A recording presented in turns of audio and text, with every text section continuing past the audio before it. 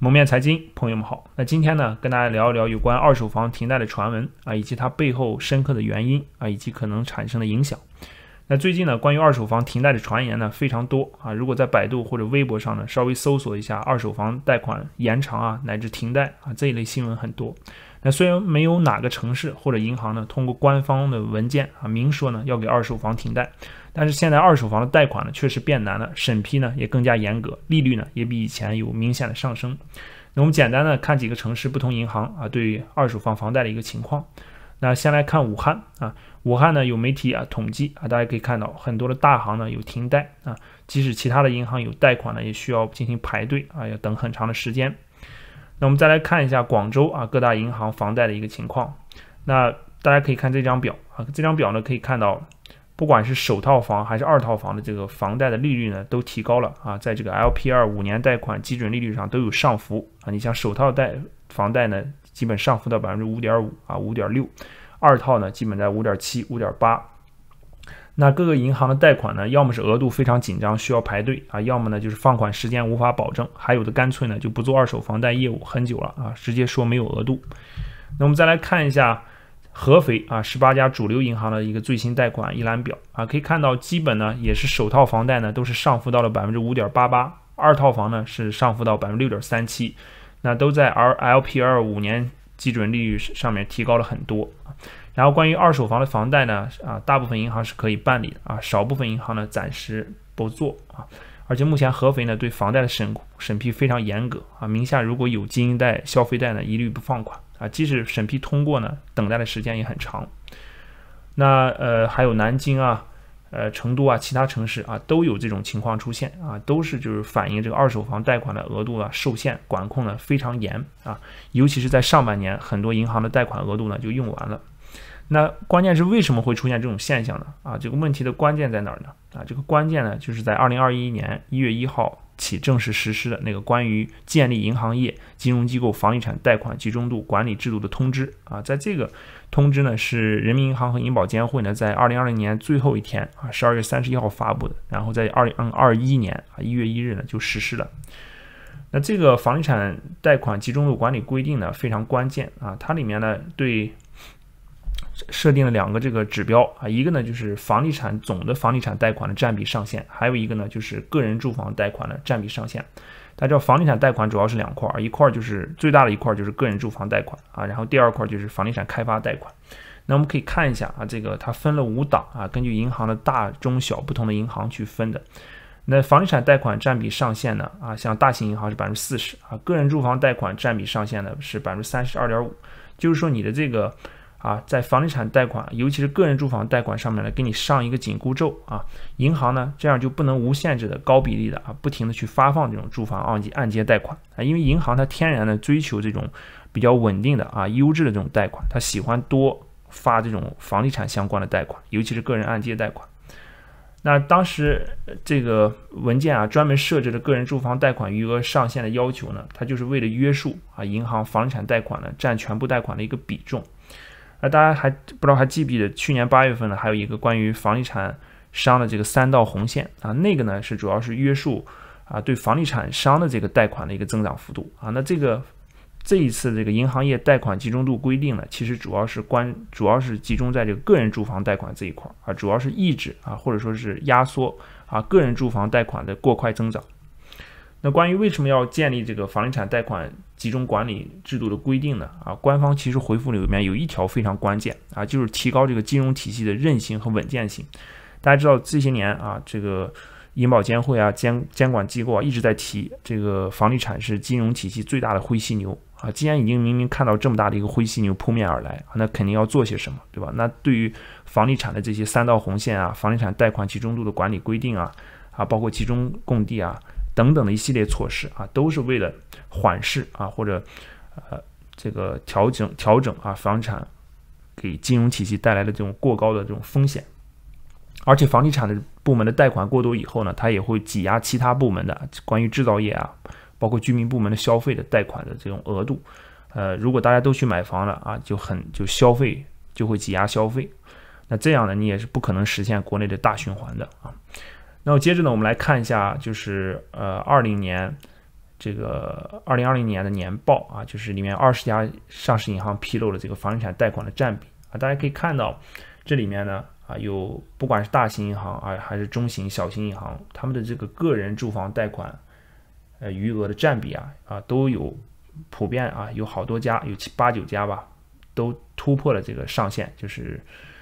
给他们规定的分别的这个上限啊，就是标红的这些这个比例。那我们可以看到，就是说这个房地产贷款集中度的规定呢，哎，对银行呢啊还是有很强的限制。那这样银行呢给呃不管是给新房也好，给二手房也好啊，尤其是给二手房的按揭贷款呢，就会有一定的压缩啊，或者是带上这个紧箍咒就受到影响。好，我们再来看一张图啊，这张图呢是关于房地产贷款、个人住房贷款还有人民币贷款增速的一张图。那这张图呢也很关键啊，我们可以看到这个。呃，人民币的一般贷款啊，它的增速呢，啊是蓝色的这个线啊，在下面啊。那房地产贷款还有个人住房贷款的增速呢，啊都是比这个一般贷款都要高啊。尤其是个人住房贷款啊，它的增速呢非常高，而且呃如果长年累月的啊，这个增速比一般贷款要快的话啊，经过长年累月的积累以后，房地产贷款的这个集中度啊，必然会越来越高，也就是占银行总贷款的比例呢会越来越大啊。所以说。主要把这个比例啊，就是这个个人住房按揭这块的比例，给它慢慢的占总贷款的比例，给它慢慢的压下来。那刚才也讲了，去年八月份的三道红线呢，是针对房地产开发商的。呃，今年年初这个银行对房地产贷款集中度规定呢，是对个人住房按揭的。那大家能明白啊，这个房地产不光呢有居住属性，它还有很强的金融资产的属性，而金融资产的核心特征呢？啊，就是使用杠杆。那如果没有杠杆的支撑呢？中国房地产的金融属性呢将大大褪色。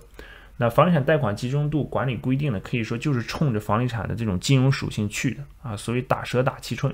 打掉了房地产的金融属性啊，尤其是打掉二手房的这种投资投机的金融属性啊，也就真正的实现了这个房住不炒啊，价恒不跌。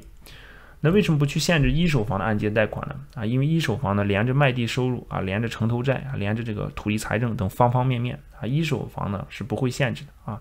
它还是会总体上还是会鼓励和支持。但是二手房呢，你就别想了，二手房的买卖啊，如果你站在国家的角度啊，它只会肥了投资投机客啊，对刚需也好，对地方政府也好，没有任何好处。相反的，如果二手房你不加以控制，还会导致大量的抛盘的出现啊，进而影响整个市场出现这种大幅波动。那么再看一下这个呃，零八年到二零二零年全国这个新房、商品房销售的面积和销售额啊，可以看到这个销售面积也好，销售额也好，在一五年以后啊，都上了一个很大的台阶啊，增速非常高，总量也非常大啊。事实上，在一五年以后呢，每年都有一千五百套的这种新房上市啊，而后呢，它就会转化为二手房的这种库存，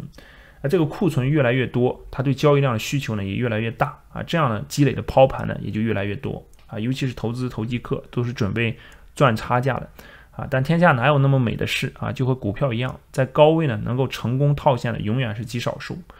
那走到今天呢，二手房的投资投机客啊，应该来说是真正感受到了这种刺骨的寒风啊！因为没有银行信贷的支撑啊，你根本无法找到有效的接盘者啊！能够全款买房的毕竟是极少数。到最后呢，也许你会发现啊，就很多地方的不动产啊，也许会变得真的名副其实，成为真正的不可流动的资产。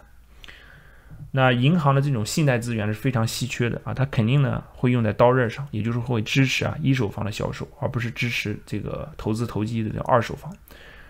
那没有银行信贷的支持呢，啊，买家呢其实是根本承受不起这么高的二手房的房价的啊。好，最后呢，我们再看一下这个呃。最近的这个二手房的一个成交的一个状况啊，那是因为随着这个房地产贷款集中度的这个失信啊，然后包括上半年这个信个人按揭贷款额度的这个用尽啊，或者是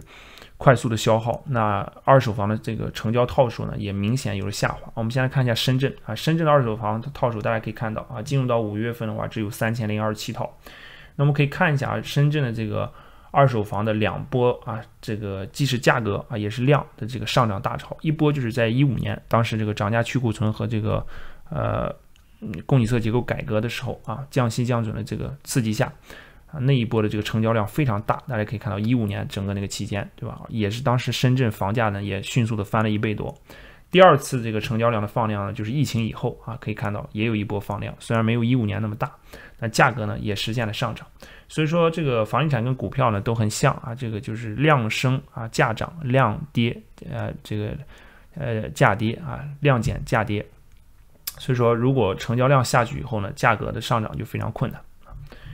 好，我们再来看一下上海的这个二手房啊情况。上海的二手房也是依然一样啊，大家从大面上可以看到，在一五年也是一波巨大的放量啊，当时也是翻了一倍。之后第二波呢，就是疫情之后啊，也是有一个很大的放量啊。然后现在到现在四月五月啊，这个成交量呢又下来了啊。所以同样是这个价升啊，这个呃量升价涨啊，量跌呃量缩价跌。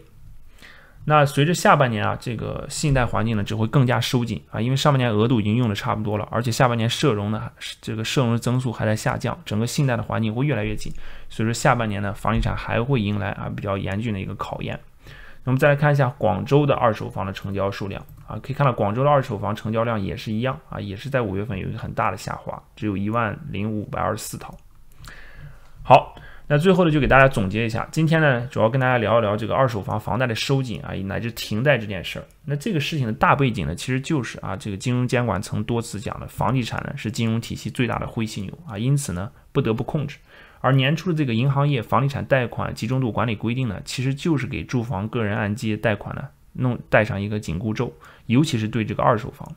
所以我们可以看到，一张大网呢正在缓缓的落下啊，那些。热衷于投资投机的炒房客们啊，也许呢用不了多久就会明白啊，就是明白郭树清主席啊在陆家嘴金融论坛前不久说的一句话啊，他说压住房价永远不会下跌的人，最终会付出沉重的代价啊。这句话究竟是什么意思？好了，今天的分享呢就先到这里，感谢大家的观看，我们下期再见。